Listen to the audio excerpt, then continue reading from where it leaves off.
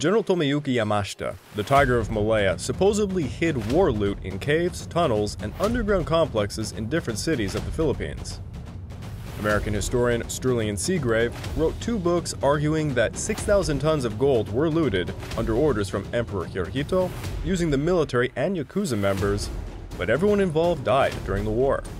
It's further alleged General Douglas MacArthur was given intelligence about this and he discovered 170 tunnels and caves secretly shipping gold back to the United States. In 1988, a Filipino treasure hunter named Rogelio Roxas sued President Ferdinand Marcos, claiming he had found an enormous amount of treasure and that Marcos had arrested and seized it for himself. Roxas died on the eve of the trial, but the Hawaiian Supreme Court in 1998 stated there was sufficient evidence Roxas had found the treasure, and indeed, Marcos had stolen it.